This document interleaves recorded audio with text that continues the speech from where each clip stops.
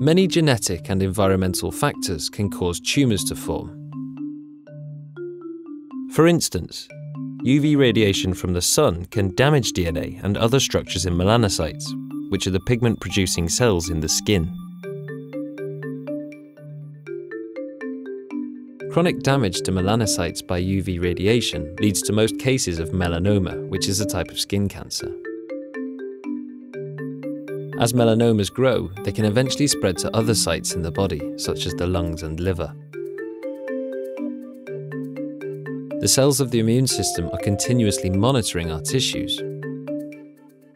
Natural killer cells, or NK cells, sense stress associated molecules on damaged and cancerous cells.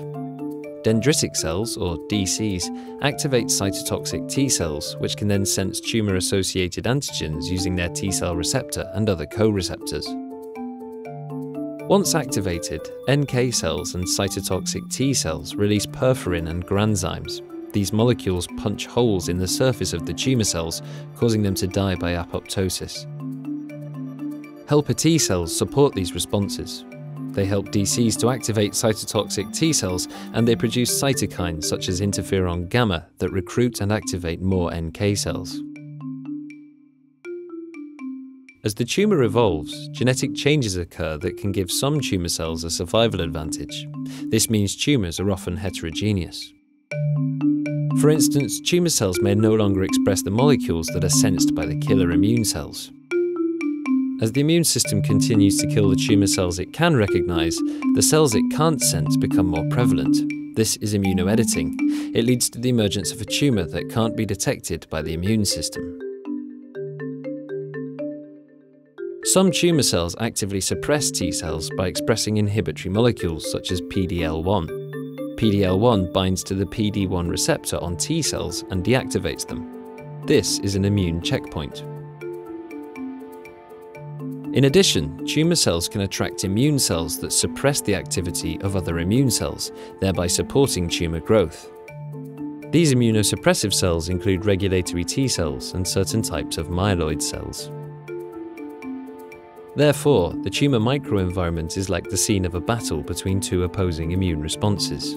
One side of the immune system is attacking the tumour, while the other side is helping it to grow. Scientists are developing immunotherapies to help strengthen the immune attack. One approach is adoptive T cell transfer. Cytotoxic T cells taken from patients with melanoma are selected for their ability to attack tumour cells the best killers are infused back into the patient. Treating patients with cytokines, such as interleukin 2 and interferon alpha, can also boost the activity of anti tumour immune cells.